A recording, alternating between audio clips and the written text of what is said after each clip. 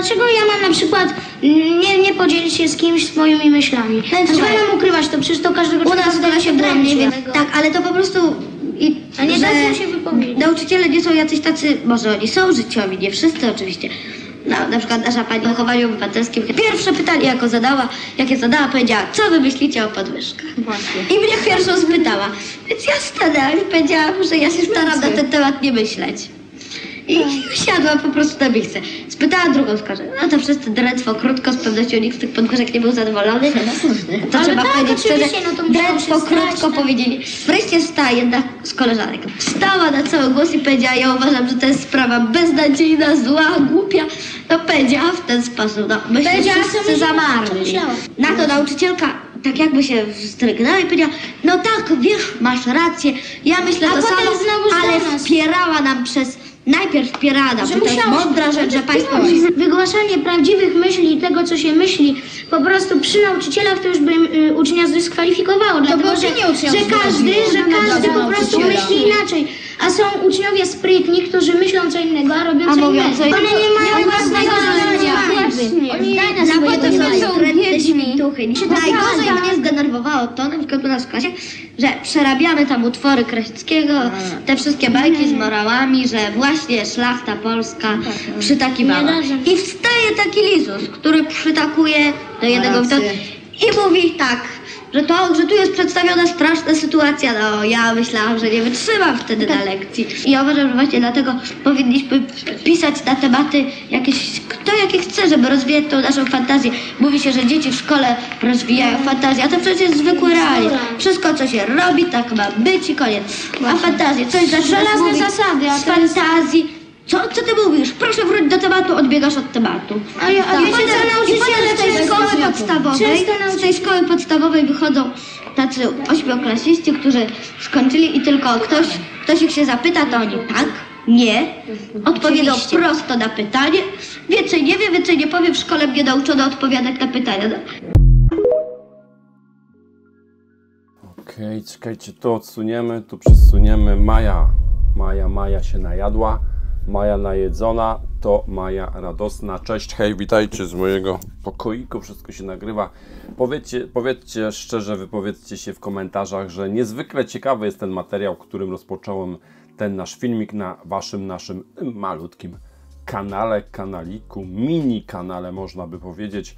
I od razu takie zastrzeżenie nam pierwsze, to nie jest krytyka szkoły jako instytucji, absolutnie, bo są też tacy, którzy mówią na przykład, że szkoła jest do niczego niepotrzebna, że szkoła to jest w ogóle jakiś wymysł archaiczny i tak dalej. No Platon, Arystoteles, a szczególnie Platon, który przecież wymyślił licea, przewraca się w grobie, szczególnie pewnie jego rozum, z którego nic nie pozostało, w grobie się przewraca. Słuchajcie, yy, chcę dziś porozmawiać o tym, co, co narodziło się w moim sercu, w mojej głowie pod wpływem lektury takiej książki Odważ się robić rzeczy wielkie i ty możesz pracować w NASA, czyli rozmowa z Arturem Bartłomiejem Chmielewskim. Właściwie nie tyle rozmowa, co jest to książka jego autorstwa przy współudziale pani Eweliny Zambrzyckiej Kościelnickiej. Cielnickiej, tak, dobra.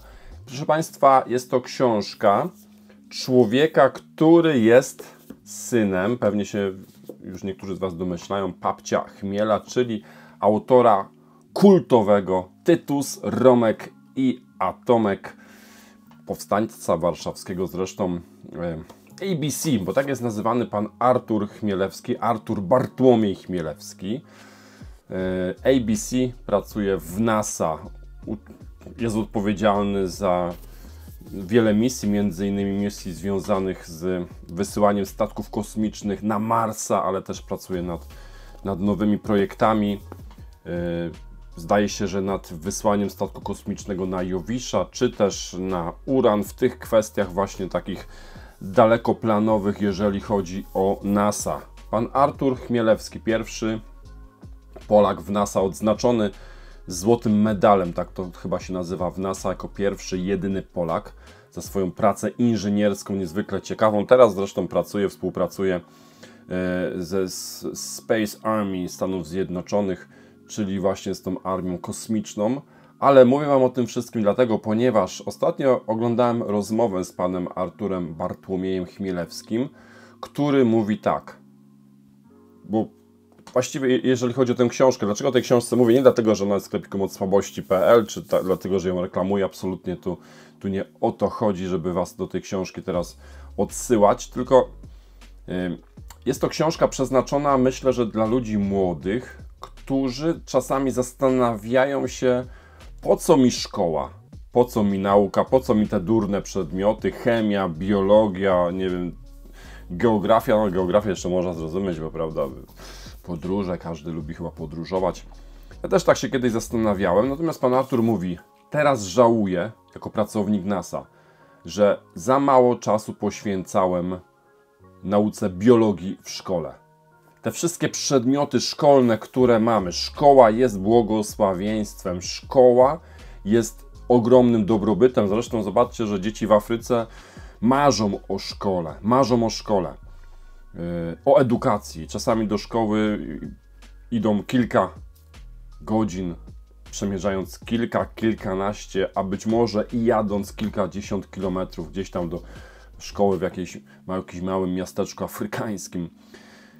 Pan Artur mówi, że za mało uczył się biologii, ponieważ mówi, te wszystkie przedmioty, które są w szkole, są ważne, ponieważ one rozwijają nasze myślenie, nasze kojarzenie, nasze y, prawda, działanie mózgu, żebyśmy kojarzyli fakty, pewne procesy, żebyśmy odnaleźli swoją pasję, swoje talenty, swoje zainteresowania. Tak, szkoła jest bardzo ważna i w szkole jest również ważne to, aby uczyć się wszystkich przedmiotów. Oczywiście, wiadomo, nie chodzi tutaj, żeby się ich uczyć w skali piątek, szóstek, dziesiątek czy jakichkolwiek najwyższych ocen. Tu chodzi o to, aby zdobyć nie tylko wiedzę ogólną, jak to jest w przypadku liceum ogól, ogólnokształcącego, ale żeby nasz mózg zaczął się rozwijać, zaczął, się, zaczął kojarzyć pewne fakty, pewne, zdobył pewne umiejętności, prawda, kojarzenia procesów, żeby stał się twórczy, żebyśmy odnaleźli, czy też ludzie młodzi, ale też my dorośli, kiedy czytamy, też rozwijamy swój umysł, żebyśmy, żeby ludzie młodzi odnaleźli swoje miejsce w świecie, żeby zrobili coś dobrego dla świata. Nie wiem, czy wiecie, ale NASA przez swoje technologie kosmiczne poprawia jakość pracy chociażby rolników w Stanach Zjednoczonych, poprawia y, jakość życia ludzi w Afryce, gdzie brakuje, przepraszam za koty, gdzie brakuje e, wody, prawda, e, słynne badania e, ludzi z NASA nad, nad liściami w Kalifornii, liściami, prawda, w winnicach, żeby, żeby, żeby nie były atakowane przez, przez jakieś zwierzątka, które je zżerały, prawda. No. To wszystko są technologie kosmiczne, użyte dla dobra życia zwykłych ludzi w zwykłej codzienności. Pan Artur Chmielewski, pierwszy człowiek w NASA, mówi tak, bardzo ważna jest szkoła, ale mówi nie po to, żebyś zdobywał jak najlepsze oceny, tylko żebyś coś rozumiał. Mówi lepiej czasami dostać gorszą ocenę, ale nauczyć się rozumieć pewne procesy. Na przykład w biologii. Ja powiem szczerze, bardzo lubiłem biologię i historię w liceum. Bardzo lubiłem, no jedno i drugie lubiłem chyba na tej samej, na tym samym poziomie i powiem szczerze, że trochę chyba w jakimś czasie zacząłem żałować, że nie poszedłem w kierunku biologii. Pan Artur mówi tak, nauki ścisłe, inżynieria, ale też nauki właśnie typu biologia, to jest przyszłość świata, ponieważ człowiek odkrywając swoje umiejętności, swoje pasje, jednocześnie służy tymi talentami dobru każdego zwykłego człowieka, a przecież wiemy, że biologia dotyczy każdego z nas. Trochę się uczepiłem tej biologii, można by też tutaj się odwołać do przedmiotu, jakim jest chemia, fizyka, y, jakie tam są jeszcze przedmioty, geografia, no to już bardziej może praktyczny, matematyka, prawda? No to są wszystko przedmioty nieprzypadkowe. Szkoła jest potrzebna. O, Gucio, co żeś odwalał? Co za wariacje były? No, Przepraszam, troszeczkę musiałem tutaj, prawda, wychowawczy tą wprowadzić. W każdym razie, bardzo Wam serdecznie polecam dwie jakby takie sprawy. To, co powiedziały na początku te dzieci, żeby rozwijać swoją wyobraźnię, zobaczcie jaką piękną polszczyzną w ogóle te dzieci mówiły, rok 1971. Dzisiaj szedłem po ulicy, prawda, bo, bo niosłem wasze paczki do, do wysłania z sklepiku mocowości i, i młodzież mijałem i większość z nich to szła jakoś tak zgarbiona w jakichś kapturach, jakiś tak, jeden to szedł tak, że nie wiedziałem, czy on jest pijany, człowiek młody, nie wiem, 13-14 lat, a on szedł tak z telefonem, gibał się na boki, na lewo. Generalnie wydaje mi się, że współczesna młodzież ma taki problem, że przestała od siebie wymagać, że my przestaliśmy od, od nich wymagać, że jest leniwa. Ale może się mylę, może oceniam według samego siebie, może to właśnie ja jestem leniwy, dlatego też innych w ten sposób oceniam. W każdym razie warto czytać. To jest pierwsza sprawa, która dotyczy każdego z nas. Warto zdobywać nowe, rozwijać w sobie nowe zainteresowania, nowe pasje, nawet jeżeli mamy 40, 50, 60, 100, 200, 400 czy 500 lat. Warto rozwijać w sobie nowe zainteresowania, nie kierować się tylko takim takim pytaniem, co ja z tego będę miał. Tu nie chodzi o utylitaryzm, o użyteczność, jakąś praktyczność. Tu chodzi o to, abyśmy rozwijali nasz umysł, umiejętność właśnie kojarzenia faktów, procesów, ale druga sprawa. Niech ludzie młodzi czerpią ze szkoły na maksa. Maksymalnie ileś się da, wyciągają z lekcji, wyciągają właśnie w tej również płaszczyźnie społecznej, bo przecież wiemy, że szkoła także uspołecznia. Bez szkoły no mogą. Mów- Powiem tak, żeby tu nikogo nie obrazić. Nikt z nas nie jest samotną wyspą i potrzebujemy dru drugiego człowieka, żeby zachować pewną, pewną stabilizację, że tak powiem, umysłową. W każdym razie, chwała Bogu za to, że dał nam rozum. Chwała Bogu za to, że ten rozum możemy rozwijać przez całe życie. I chwała Bogu za ludzi, którzy budzą w nas pasję, chęć poznawania nowych rzeczy.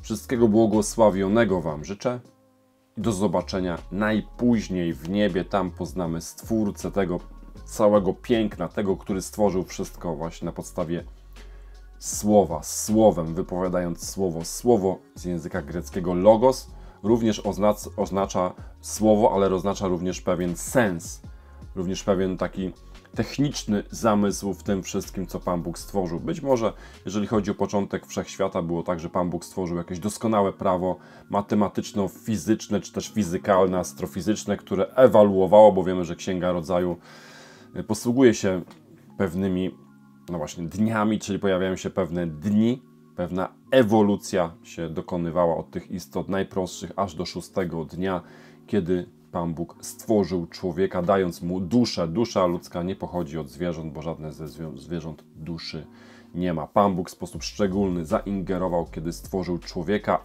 ale Pan Bóg zaingerował w sposób szczególny, kiedy stworzył wszystko.